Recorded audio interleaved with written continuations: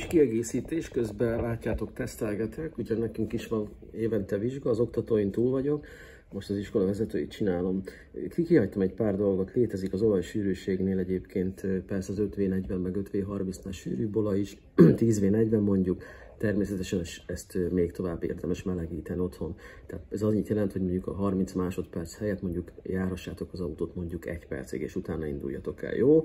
Következő kéziféket télen ne húzzátok be, tehát azzal nem szabad rögzíteni az autót, főleg latyakos idő után, mert ugye reggelre visszafagyhat a kézifékkötek, tele lehet úgy hívva a kézifék rész, és akkor ugye befagyhat a kéziféket. Ilyenkor érdemes egyesbe tenni, és ami nagyon fontos, hogy ékeljétek ki a kereket, vagy fordítsátok szegé, szegé felé. Jó, világítás. Egy csomó helyen látunk egyébként olyat, hogy egyszemű autó érkezik velünk szembe, legalább a helyzetjelző jó lenne, ha világítana, ha már a tompított nem világít ami annyit jelent, hogy, hogy jó lenne, ha megnéznétek, a, főleg a bal oldalit, mert motorosnak nézhetnek benneteket. Na, valamelyik autón nagyon nehéz cserélni, szakszervizbe vigyétek el, amelyiket persze lehet akkor otthon érdemes kicserélni. Jó, mi van még?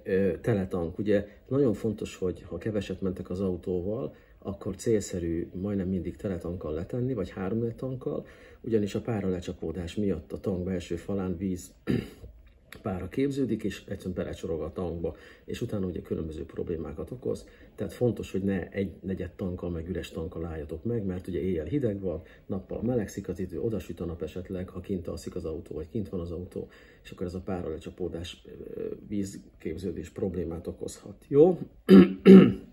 Célszerű egyébként, célszerű egyébként, közben hagyj válaszoljon már meg, préma üzemanyagot tankolni az autóba, ami, ami annyit jelent, hogy gázolajból is, és, és 95-ösből is legalább ezt az e tankoljátok, vagy a prémiumot a gázolajból. Jó? Mi van, amit kihagytunk még? Tompított fényszóról beszéltem, világítás kézifékről beszéltem. Igazából ennyi. Köszönöm a figyelmet, sziasztok!